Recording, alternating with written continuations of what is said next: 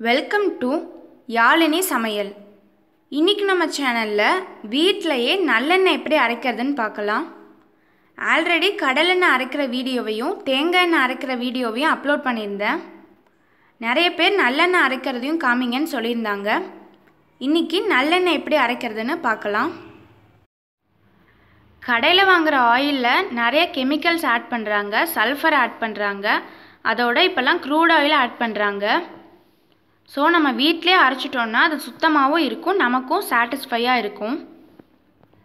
So இப்போ நல்லெண்ணெய் அரைக்கிற ப்ராசஸ் என்னென்னு பார்க்கலாம். ஆல்ரெடி அப்லோட் பண்ணியிருந்த கடலெண்ணெய் வீடியோலேயே நிறைய டவுட்ஸ் கேட்டிருந்தாங்க. ஸோ இந்த வீடியோவில் நல்லெண்ணெய்க்கு வந்து நான் டீட்டெயிலாக எக்ஸ்பிளைன் பண்ணிடுறேன். நான் இன்னைக்கு பதினாறு கிலோ கருப்பெல் வாங்கியிருக்கேன்.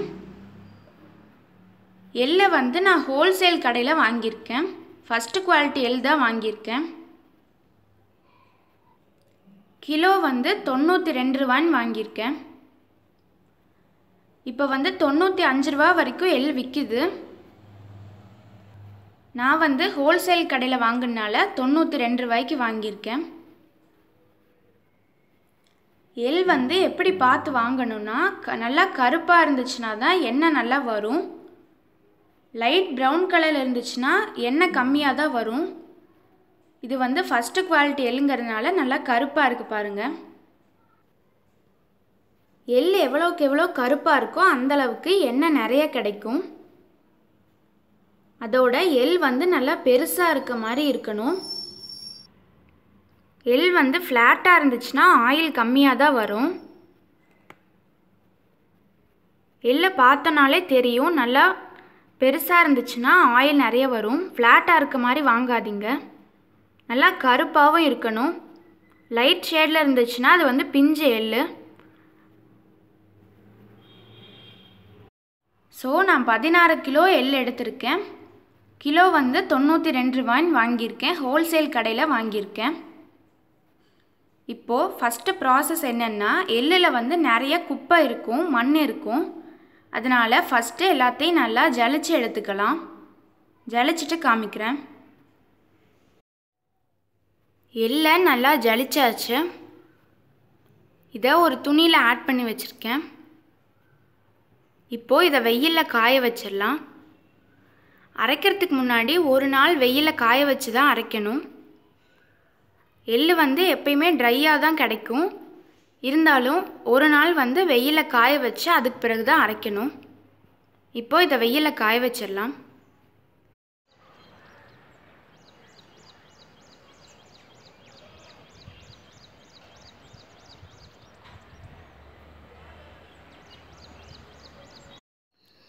இப்போது எள் வந்து ஒரு நாள் நல்லா காஞ்சிருச்சு. கடையில் வந்து காய வச்ச எள்ளை தான் விற்பாங்க. இருந்தாலும் நம்ம வந்து ஒரு நாள் நல்லா காய வச்சோன்னா எண்ணெய் நல்லா பிரிஞ்சு வரும். அதனால தான் ஒரு நாள் காய வச்சுருக்கேன். இப்போது அரைக்கிறதுக்கு வந்து கருப்பட்டி தேவை. அதை எவ்வளோ எடுக்கணும்னு சொல்கிறேன் நான் வந்து ஒரு கிலோ ஆறுநூறு கிராம் கருப்பட்டி எடுத்திருக்கேன். கருப்பட்டியோட ரேஷியோ என்னென்னா ஒரு கிலோ எள்ளுக்கு நூறு கிராம் கருப்பட்டி எடுக்கணும். ஸோ பதினாறு கிலோ எள்ளுக்கு டோட்டலாக ஒரு கிலோ ஆறுநூறு கிராம் கருப்பட்டி எடுத்திருக்கேன். இது வந்து காய்ச்சல் இடத்துலே வாங்கிட்டு வந்த கருப்பட்டி. ஏற்கனவே அப்லோட் பண்ணியிருந்த ஒரு வீடியோவில் டோட்டலாக வந்து இந்த பெரிய பீஸ் வந்து ஒரு ஒரு கிலோ முந்நூறு கிராம் இருக்குது இது வந்து முந்நூறு கிராம் உடச்சி எடுத்திருக்கேன். டோட்டலாக ஒரு கிலோ ஆறுநூறு கிராம் கருப்பட்டி எடுத்திருக்கேன். மெயினாக கருப்பட்டியும் நல்லதாக பார்த்து வாங்குங்க. ஏன்னா கருப்பட்டிலையும் இப்போ நிறைய கெமிக்கல்ஸ் ஆட் பண்ணி டூப்ளிகேட் விற்கிறாங்க அந்த மாதிரி யூஸ் பண்ணி அரைச்சிங்கன்னா நம்ம வந்து எண்ணெய் வீட்டில் அரைக்கிறதுக்கு பிரயோஜனமே கிடையாது.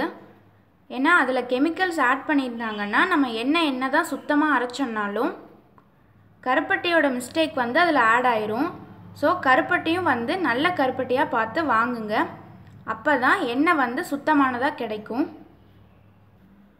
இப்போது எண்ணெயை அரைக்கலாம்.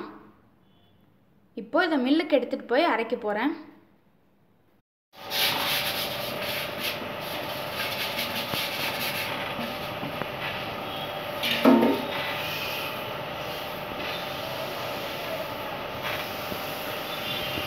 எடுத்துருக்கேன் எடுத்து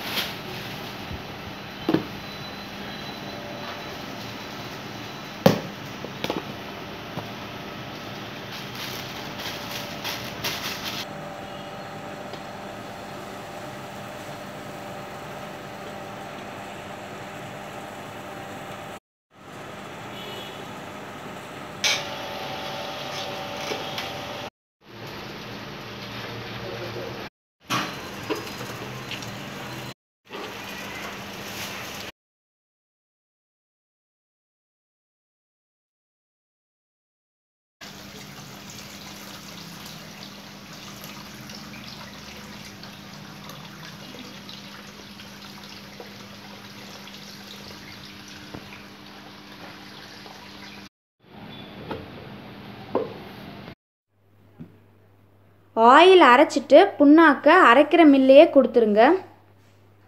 கிலோ வந்து ஆறு ரூபாய்ன்னு எடுத்திருக்காங்க. டோட்டலாக ஒம்போதரை கிலோ புண்ணாக்கு வந்திருக்கு.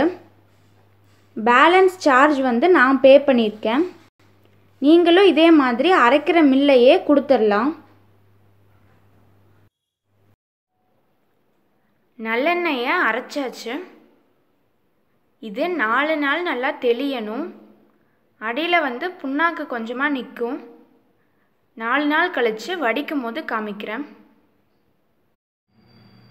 நல்லெண்ணெய் அஞ்சு நாள் நல்லா தெளிஞ்சிருச்சு. தெளிஞ்சதுக்கு பிறகு வேறு பாத்திரத்தில் ஸ்டோர் பண்ணி வச்சுருக்கேன். கசடு பாருங்கள் இந்த அளவுக்கு வந்திருக்கு. இதுலேயும் கொஞ்சமாக ஆயில் நிற்கிது இது வந்து எகைன் ஒரு ஒன் டே நல்லா வடியணும். வடிஞ்சதுக்கு பிறகு தனியாக வடித்து யூஸ் பண்ணிக்கோங்க.